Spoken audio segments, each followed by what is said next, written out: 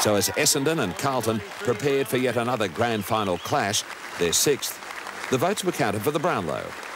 Gavin Wanganeen became the first Aboriginal player to win the coveted award, pipping Carlton's highly favoured Greg Williams and Geelong's ineligible Garry Hocking by a vote. The short-priced favourite, Wayne Carey, was fourth. In this year of Indigenous people, Wanganeen was a fitting winner. And on grand final day, Essendon would hail another star of Aboriginal descent, Michael Long, as the worthy winner of the Norm Smith Medal. 50 metres out. Still going. 30 metres out. Oh, what play. It may have been touched on the line. No. The Bombers kicking away in the first quarter and never giving Carlton a chance. For Kevin Sheedy, it was one of his great moments. His young side contained eight players under 21. Carlton boasted none. It's all over. There's the siren. Victory for the.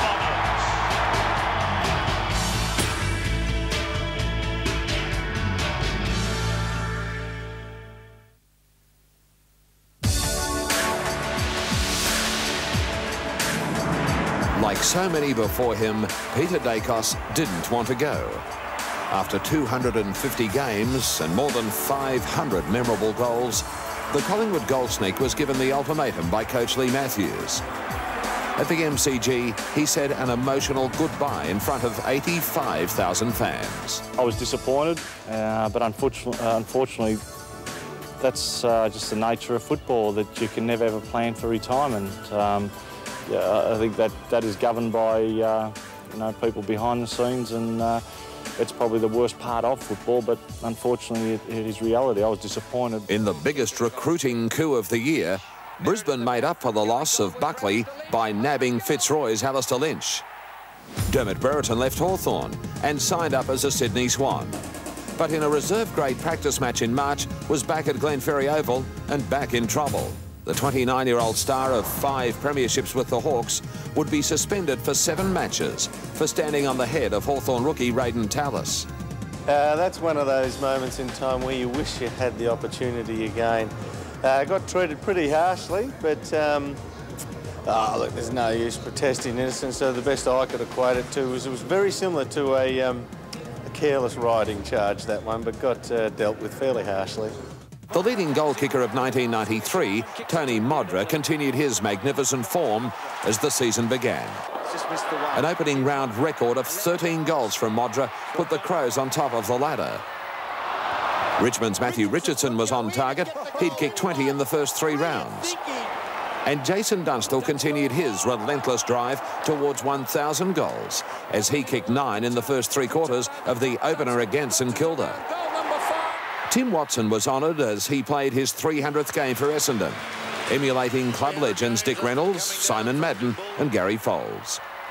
The celebration soured later in the afternoon as the Bombers went down by nine points to Fitzroy. The goal of the season. How about this dash from Mick McGuane? And McGuane gets past Brown. They're lifting the pies. They can sense it. First 15 minutes ordinary, but since then they've been good. McGuane's had five bounces. Nearly get another one. Round he goes. In he goes to an open goal. Phil Manassa, by Mickey McGuane. Goal of the year. Footscray won their first game against Richmond, but after losing in round two against Geelong, coach Terry Wheeler was sacked. Into the hot seat came dual Hawthorn Premiership coach Alan Joyce. In his first outing as top dog, his side lost to Collingwood by a point. Support the Magpies by a point in a thriller. It's not a fairy tale then for Alan Joyce, but a nightmare. The headliner, early in 94, was undoubtedly North skipper Wayne Carey. He kicked seven in a starring role against Hawthorn, and a week later applied the blowtorch to Joyce's Bulldogs with six more. What a mark. What a player. Mark number eight to Wayne Carey. Oh, Bernie, that is just superstar stuff. Carey kicks a goal. Thank you, folks. A controversial moment at Waverley, as Collingwood's Gavin Brown is not allowed this goal on half-time. Did the umpire hear Melbourne won by a kick and would sit on top of the ladder with five straight wins. Well, we heard it. Did the umpire hear it? The umpire said, I heard it. There is no score for that. The 20th anniversary of Football Park saw the South Australians win the State of Origin game against Victoria. Modra kicked six in a two-point win. Ablett kicked the goal of the night.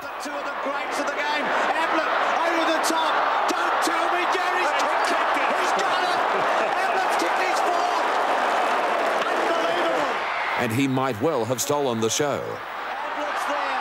Ablett's with a chance. Left foot by Ablett. It's a free kick. And there's no doubt the free kick was there. Player being held. So the free kick coming back.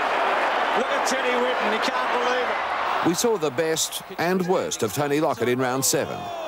He would get eight week suspension for this crude blow delivered to Sydney's Peter Caven. Peter Caven who went for that mark. He went for the mark before as well, Pete. Oh, uh, courage. But on the same afternoon at the SCG would engineer one of the finest football recoveries in history. St Kilda fought back from a 48-point deficit to win by a point, with Lockett kicking 11 goals in a masterly display. Saints in front by a point.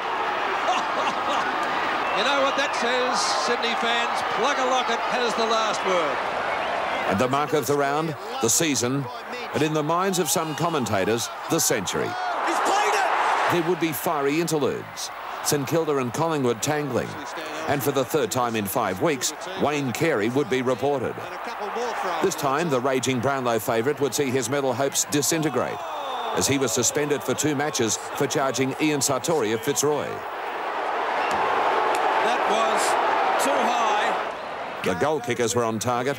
Steve Kernahan kicked six in the first half against Richmond. Jason Dunstall booted 10 against Brisbane in a 99-point win. But Gary Ablett stole the show with an SCG record of 14 goals against Sydney. Around the corner goes the champion, and he's put this one through. What a goal. Tony Shaw became the second Collingwood player after Gordon Coventry to reach 300 games. And on a night for everyone, North Melbourne celebrated its 125th anniversary as 72,000 saw them beat Collingwood. And he gets around onto the right foot. Can he do something? Oh, look at this. How's your lollies with this one? Sydney recovered from a seemingly impossible position in the last quarter to beat Melbourne. The Swans had finally unveiled glamour recruit Brereton. He was in everything as usual. One in about 30 odd. These blokes have got real character, real heart. These are real blokes. Wayne Carey again in the spotlight. Reported for the fourth time in this season. He would be suspended for striking Adelaide's Ben Hart. The Western Oval would provide the backdrop over successive rounds late in the year as two great records fell. Doug Hawkins was greeted by Ted Whitten as he overtook Teddy's Footscray Games record of 321. God, look at this. the flick part. And then a week later, it would be Tony Shaw's turn at the same ground as he overtook Coventry's Collingwood mark of 306. Gary Ablett kicked five in his 200th game a week later and moved to 97 on the goal-kicking table. Melbourne had a roller coaster ride. After winning its first five, it slid down the ladder before regaining form. Garry Lyon sparked the side with eight in a huge win over Essendon. Garry Lyon did it well. Great play by Lyon. That is a brilliant goal. Carey and Brereton were in the wars in 94.